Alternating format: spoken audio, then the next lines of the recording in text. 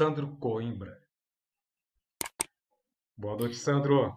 Boa noite, boa noite a todos e a todas. Primeiramente, é... gostaria de agradecer o convite aí. Imagina, eu que agradeço, cara, e muito obrigado por participar, participar. E, de participar e estar tá podendo compartilhar um pouco do meu conhecimento falando aqui do, desse workshop, né? Sandro, é, queria que você falasse um pouco sobre a, a sua carreira, sobre o, o processo, como você entrou nesse mundo louco que é a arte, né? Porque pra gente, é. só louco permanece. Uns, todos entram, agora permanecer, poucos. Sim, não, isso é verdade. Bom, minha entrada no teatro, eu, sim, eu comecei na, na, no colégio. Né? Acho que a, minha, primeira experiência, meus primeiros contatos foi, foi no ginásio, no colégio. Eu tinha um professor que, que ele incentivava bastante, né? Era um professor de, na época, educação artística, hoje é arte, né? Então ele incentivava bastante e eu fiz, fiz teatro no, no colégio. Depois, no ensino médio, fiz um pouco e aí fui para o setor privado trabalhar. Tá? Que a vida, a vida pede para gente isso, né? Por mais que a gente tenha essa, essas angústias nossas de ser artista, o, o mundo nos exige alguma, alguns sacrifícios. Depois é. de.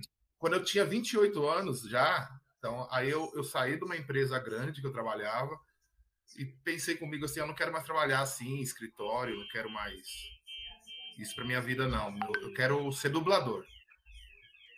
Minha primeira ideia, assim, antes de entrar para o teatro, é eu quero ser dublador.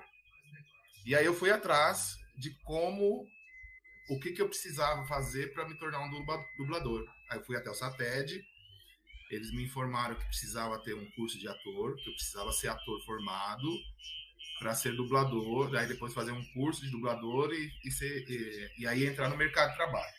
Bom, fui eu atrás de um curso de teatro, encontrei um curso de teatro. Uh, fui picado pelo. Na verdade, eu fui picado pelo bichinho do teatro. Só que isso foi em 2002, 2003. E só depois de 18 anos que eu fui fazer o meu curso de dublador, que isso foi em 2020. Hum, eu conheço esse curso. É 17 anos, é, foi onde eu conheci o Luiz. Opa. E, então, desde de 2003 até hoje, eu, eu pesquiso teatro, eu estudo teatro, acho que é, a Magali, Magali, né? Magali falou bem, assim, que tem muito glamour envolvido na, na nossa profissão. Mas é uma profissão como outra qualquer. Você precisa estudar, você precisa se dedicar, você precisa batalhar. Então, se você pega um advogado que acabou de se formar, na, quer dizer, primeiro ele precisa estudar cinco anos de estudo na, fac, na faculdade de direito, então, para ele começar a se formar. Aí ele vai precisar de mais um período de experiência para ele começar a atuar como advogado. E aí mais um período de trabalho para ele se estabelecer como advogado. Então é um caminho duro, como qualquer outra profissão.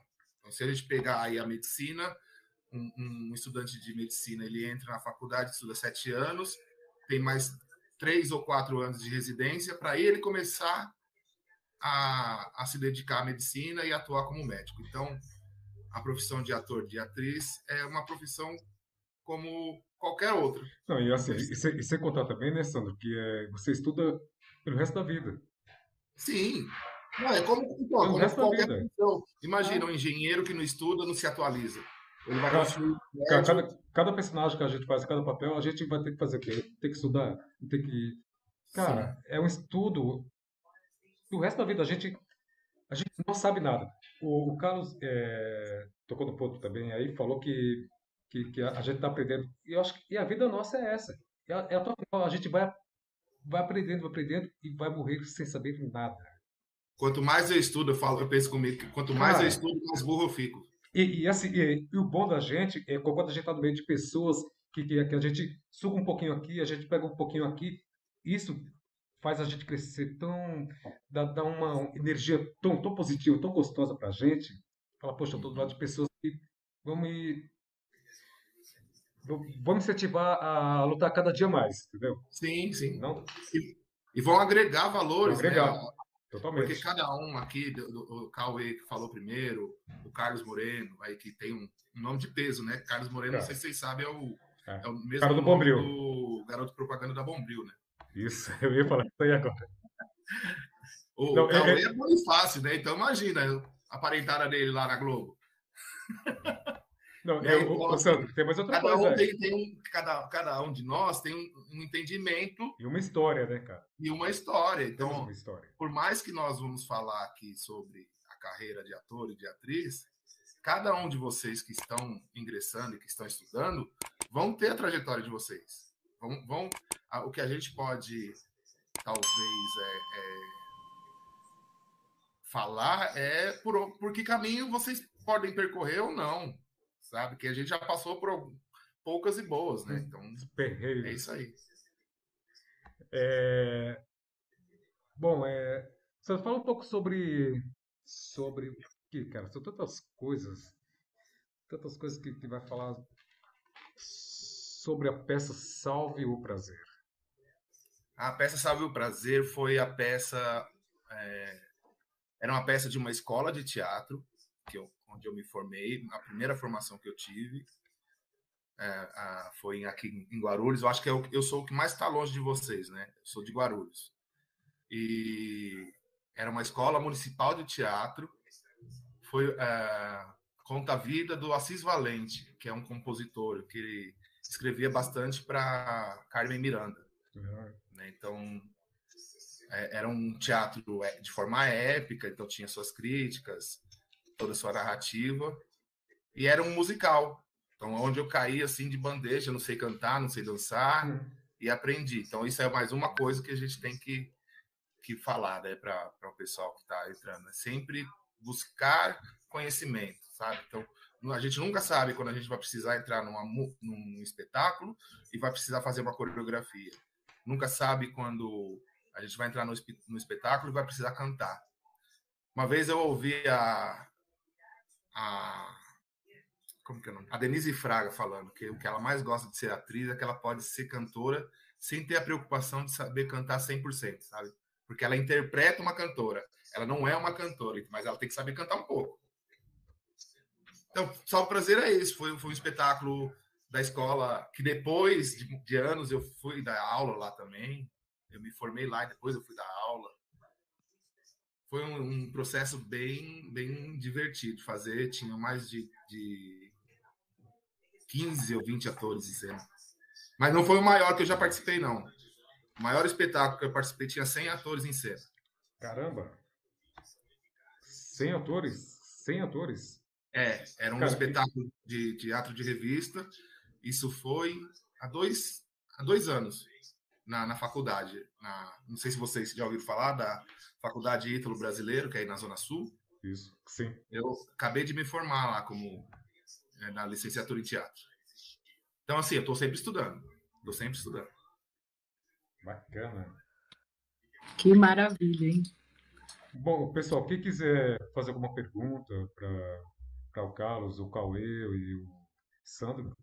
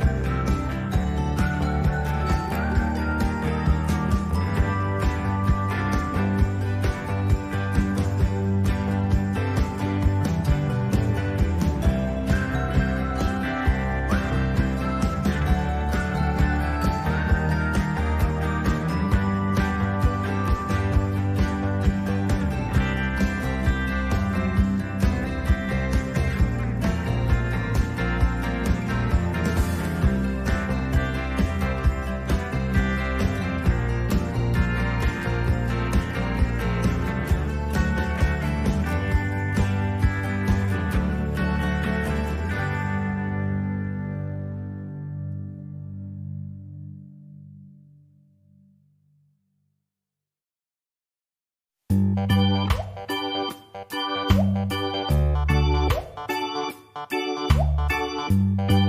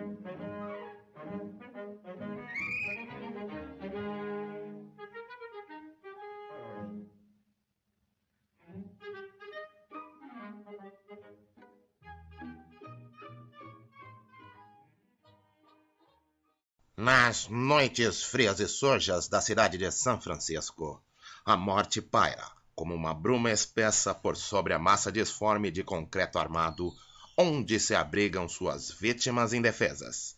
Nesse mundo, onde a lei não se atreve a penetrar, há sempre um assassino à espreita, esperando o momento certo de agir. Nesse mundo, onde se confundem bem e mal, belo e feio, onde a justiça é feita com sangue, só um homem é capaz de desafiar. Seu nome é Parker, um ex-policial que, para ganhar a vida, coloca em jogo a cada instante.